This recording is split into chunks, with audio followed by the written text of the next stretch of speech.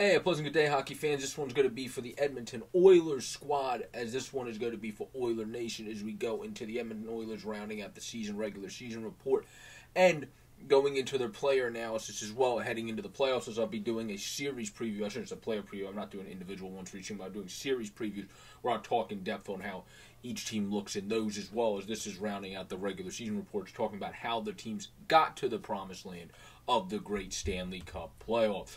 A big thing, obviously, for the Edmonton Oilers, as much as some people hate to admit it, is the pickup of Evander Kane offensively. He's really helped them out. Obviously, he ain't a defensive whiz, but he will. He has given pretty good effort in Jay Woodcroft's system, and Woodcroft's came in.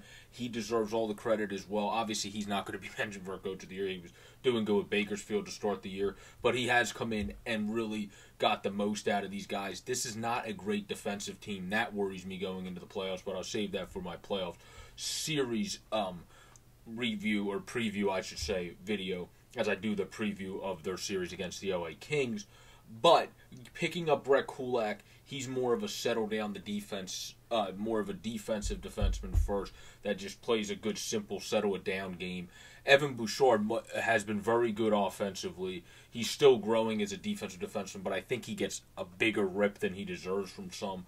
When I follow the Facebook groups and hockey Reddits and all that, that he really deserves for his defense. I think he's actually fairly okay defensively. He's not better than that yet, but he's only 22 freaking years old, and this could be his coming out party as an overall defenseman. Because when all is said and done, I think by the time he's 25 in his prime, he is going to be an overall great, well-rounded defenseman. In my own opinion, Cody Ceci is a good playoff style defenseman. Brings the round and pound. Darnell Nurse is a bigger body as well, so I think their first line works really well. Duncan Keith at this point doesn't bring a whole lot for. You can't keep up with the play as much but at least he's been a very good locker room mentor. Maybe he will be one of those guys, kind of like the cross, not the cross sports, but Danny Green has stepped up for the uh, Sixers and NBA players that can be one of those wily veterans that does step up in the playoffs, and that's what they hope Brassard can be because Brassard hasn't really done anything for them since he's come over from the Philadelphia Flyers. But Ryan McLeod, I think, has come in, provide some good fourth line minutes. Zack Kassian's an uber intelligent player. He's just not this style of current era player because he can't really keep up with the play. Keith used to be able to keep up with the play very well. It's just it's, it, he's 38. So, but Kassian, even at 31, he just never was a fast skater. He can still give you some valuable third line high effort minutes, but he's just not gonna not a guy that can really keep up with the play.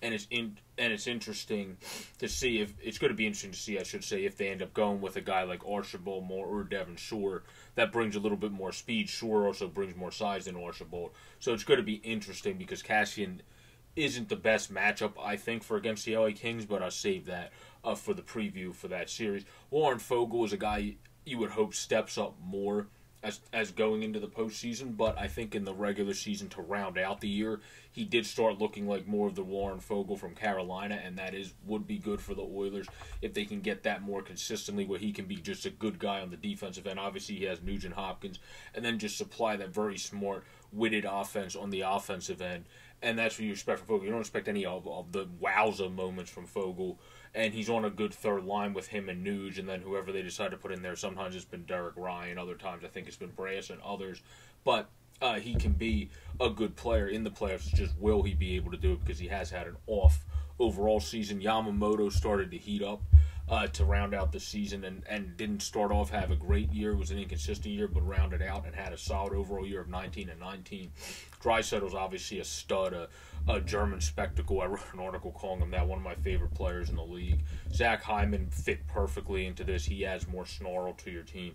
Evander Kane adds some snarl. Connor McDavid, obviously Puljujarvi coming back from overseas, uh, started to develop into a guy that's not just valuable in the offensive end, but actually can play. He's not. I wouldn't call him a great defender by any stretch, but he definitely is a guy that can be a guy that competes at a high level, block shots for you, and at least be valuable in the defensive end at this point. Definitely is not a liability, and is uh, probably at least an average, if not good, defender at this point. So I think the Oilers have a very good squad, especially in their first two lines. Then they have Nugent Hopkins after that, and then Ryan McLeod. I also think has developed himself into a good four C. So I think they're good, honestly, down the middle. Their problem is their forwards in their third and fourth line. How good's Kassian going to play in the current era? And then is Devin Shore or Josh Archibald going to be able to step up if you're trying to add more speed to take Kassian out? What's Derek Brassard going to be in the postseason? What's Derek Ryan? Not to pick on the Darks, but what are they going to be in the postseason?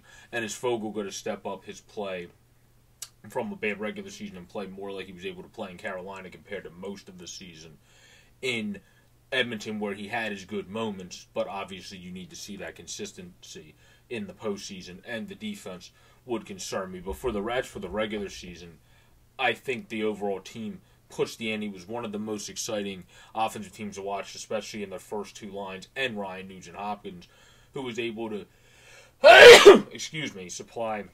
My allergies are big. Great third line offense, and Foegele started to supply better third line offense to round out the season. And that would be huge. Ryan. Derek Ryan's a solid depth player, but he's not going to add a lot of offense. So obviously, depth offense is a concern with me with the Oilers going into the postseason. But I do think the first two lines were some of the more fun to watch in the league, even though Puljujarvi doesn't put up the hell of a lot of points yet in his career. Still in the 23, definitely can start to do it later. But he's a guy that's been very valuable at being able to keep puck possessions in the zones, hard on the puck, strong on the puck, and that's a very valuable thing to have on a line with Connor McDavid and Evander Kane. Not and obviously be able to set up those studs to be able to get the goal. So he also doesn't really need to play the role of a goal scorer when you're on that line. But this has been the Edmonton Oilers rounding out the regular season report, as I'll be doing a series preview to the LA Kings and their game shortly. But this has been the rounding out the regular season report and player analysis. Definitely have a great offensive team. The defense would be what concerns me, plus obviously the goaltending as well. Mike Smith finished out the season hot and was a star of the month, but you're going to need that Mike Smith consistently in the postseason to have any shot. Koskinen stepped up as a backup level goalie, in my own opinion. A lot of people disagree with me on that, but did step up as a backup level goalie, I think. And I've been hard on Mikko Koskinen in the past, so I will give him that. But he's a backup level goalie. That's what he is. So you're going to need Smith to really be the big kahuna, the guy on campus that gets it done. And if he doesn't do that, I don't see the, the Oilers having good chances um, going forward. But for the regular season, he was able to really have a very good ending, and that's what helped the Oilers to not get caught by the LA Kings as well. So we'll have to see what happens in postseason. But great job offensively um, from this team in the regular season to get them where they're at. And they started playing much better defensively with Woodcroft. The problem is obviously the players are different beasts. They have a lot of unproven animals in the postseason and guys that have been in past postseasons, some on their defense, but are now not the same player they used to be, like Duncan Keith, for example, or Tyson Barrie, who's never going to do anything for you in the defensive zone. So you got to hope he really brings it in the offensive zone. But peace out, everybody. Stay safe. Please subscribe down below to keep the channel growing to 250 or more to meet our goal by the beginning of June. Have a great and safe day, everybody. Stay safe out there, and hope you guys enjoyed the regular season. The Stanley Cup playoffs are almost upon us. It's the greatest time of the year for people that are into the ECHL. Kelly Cup playoffs already started, and the Calder Cup playoffs are also almost upon us.